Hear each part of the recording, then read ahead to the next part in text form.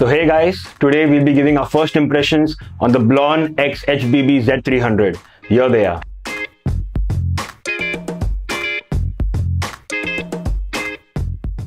Alright, so right off the back, the Blon Z300s just feel a lot more nicer when it's in your ears compared to the Blon BL03, the very popular IEM.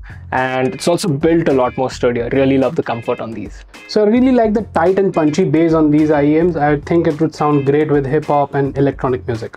So Blon have gone for a really premium build, right from the cable even to the body of the IEM, and it feels like it'll last very long. So the Blon Z300 are simply amazing. The soundstage is very immersive and wide. They are simply fun to listen to. So about the Z300, I really love them.